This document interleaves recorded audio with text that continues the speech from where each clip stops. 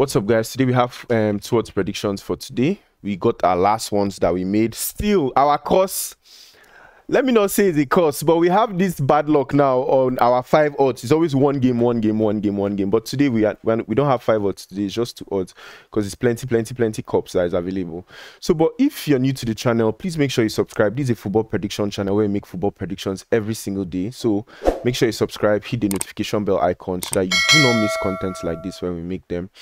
I make codes codes will be towards i make codes for 1x and sporty codes will be towards the end of the video so you can get the codes there if that's what you're interested in. Also you can join my telegram and whatsapp channel. The link will be pinned in the comments and in the description.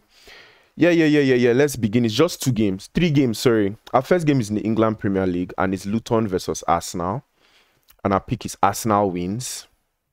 Arsenal wins and our next game our next game is in armenia the Armenia Premier League. And it's Ararat versus FC Ararat Armenia. Bro, the correct spelling will be on the screen. And our pick is FC Ararat wins. FC Ararat wins.